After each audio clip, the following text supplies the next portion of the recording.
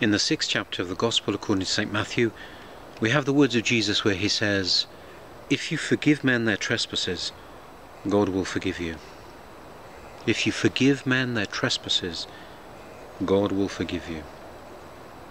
In these words of Jesus, we should hear both an encouragement, a reason to have hope, but also a very stark warning. A warning that should make us shake and tremble and should shake us from our complacency. It is a, a statement of hope because Christ assures us that if we forgive, we will find mercy. God will show mercy to all those who are merciful. But it is a warning. A warning that if we choose to refuse to forgive, we cannot hope to expect mercy and forgiveness from God on the day of judgment. As we rush to that moment of our death, as we rush to the moment of judgment, let us remember we cannot simply be casual. We cannot simply say, oh well, God is so loving, God is so forgiving, everything will be fine. God says to us, if you forgive, I will forgive. Jesus taught us in the Lord's Prayer, forgive us our debts as we forgive others. When we think of this, when we think of our hurts, sometimes the cycle of pain in our emotions, our psychology, can go round and round for years as we contemplate, as we remember the hurts, past and present, that people have committed against us. And sometimes that cycle is very difficult to break out of.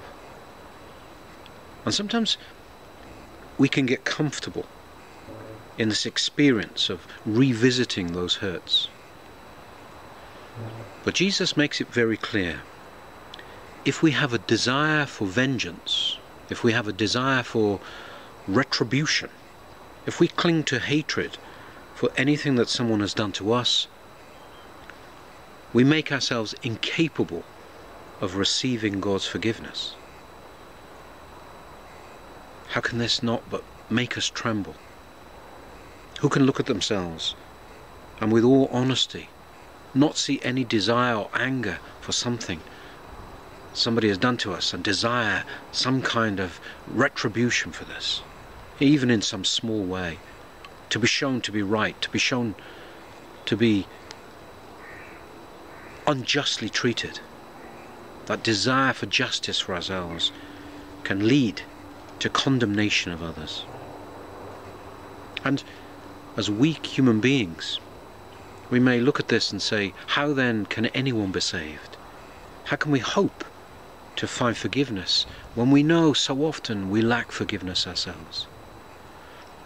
The Church Fathers, those, those great psychologists, not of the mind so much as the, the soul, the true depths of the human being, they tell us there are roots to this forgiveness. There are ways we can think. There are ways to look at other people and what they do that will help us to forgive.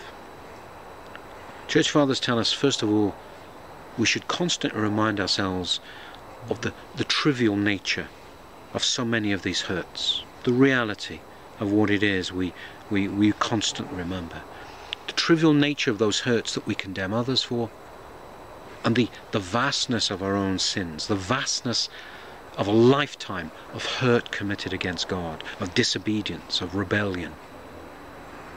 When we compare them, when we compare what we are called to forgive in others with what we hope to be forgiven by God, how can we but not tremble at our own injustice? In the way that we treat other people compared with what we hope for from God. It is we who are being unjust. But there is another important factor in this.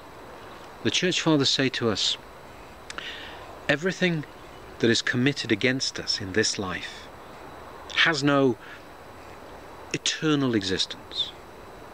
It will have no eternal bearing on our soul what other people do to us. Even when those hurts have gone on for many years, even if those hurts last a lifetime. At death, they will come to an end. The hurts committed against by others are transient. The Church Fathers remind us they can have no bearing on our condition a judgment, but if we choose to refuse to forgive, we, we commit an evil against our soul that may be eternal. We enter judgment with this evil that we have marked our soul with. The harm that we can do ourselves by refusing to forgive can be eternal. The Church Fathers say to us, let us ponder the reality of this.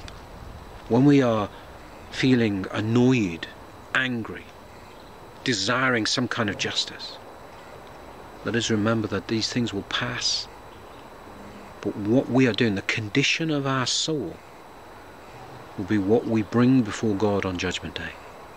And it will be eternal. So let us weigh up the temporary, the temporary evil committed against us against the eternal evil that we commit. And let us think of all those people who, through the generations, have refused to forgive and are now dead how they would long for even an hour, a moment of life to repent and to forgive others, that they may find mercy. We are here now, we have breath, we have life. In His mercy, God has given us this life that we may lay hold of His mercy, lay hold of His forgiveness. And part of the way that we do this is by showing forgiveness for others now. This is our calling now, in this life. Let us hear the words of Jesus. If you forgive others their trespasses, God will have mercy and forgive you. This is the time that decides our future, our eternal future. And so long as we have breath, so long as, as the heart beats, we can forgive. In our prayers, let us always ask God to strengthen us, to give us the courage and strength to forgive others. And it takes courage at times, because to forgive can be a cross that we take up. It can be crucifixion.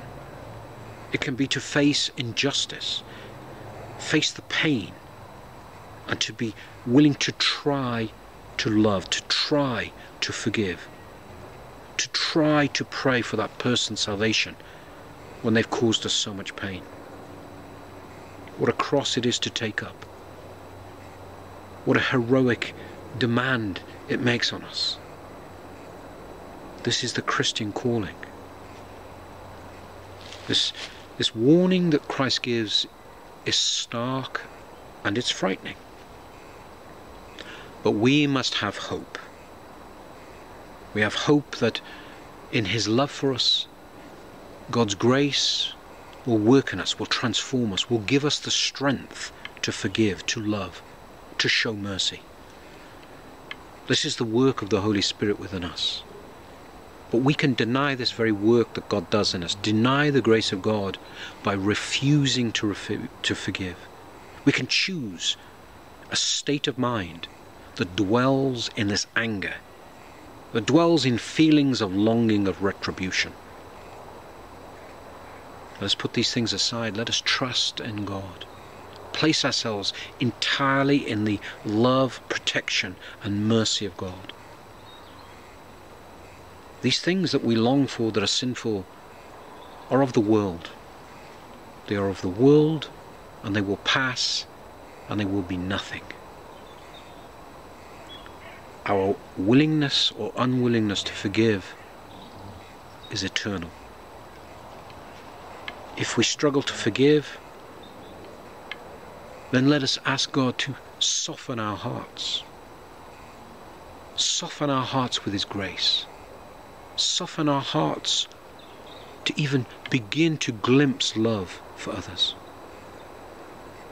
Yes, it is a kind of cross that we are called to lift. And at times, it may seem too difficult. when our mind lingers on those pains, those hurts, it may seem so difficult to take up this cross. But let us remember, we have hurt Christ more than anyone has hurt us.